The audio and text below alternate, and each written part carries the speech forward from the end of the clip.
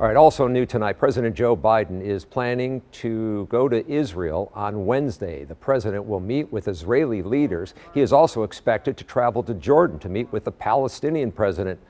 More than 2,800 people have been killed in Gaza and 1,400 have died in Israel since the fighting started a little over a week ago between Israel and Hamas.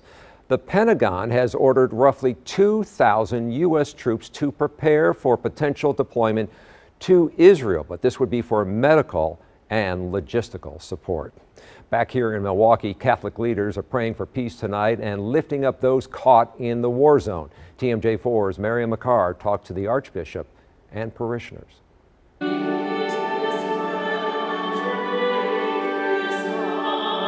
Filled pews to pray for peace in the Middle East.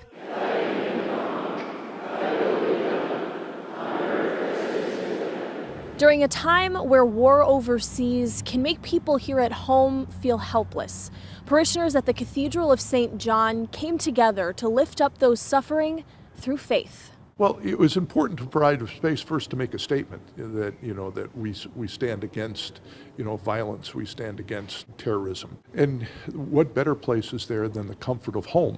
The church is home. Archbishop Listecki leading the downtown Milwaukee church in an hour of prayer against the violence happening overseas. I believe in God the Father Almighty, creator of heaven and earth. It comes as the death toll in Gaza and Israel continues to rise amid war with Hamas. Israeli diplomats on Monday saying there's no ceasefire in sight. To love your neighbor um, as you want to be loved um, and to treat others the way you want to be treated. It's the golden rule. It's in the Ten Commandments. The horrible images of war, what brought Patrick Donahue to the pews Monday night. That moved me to come because it's it's so apparent, uh, and my response is only can be prayer. I think in times where we see faith being lost, and with the division of war, uh, it's an important to give us a morals, give us a, a, a roadmap to to way our live our lives. The Archbishop agreeing with the power of prayer. We as people of faith turn to God.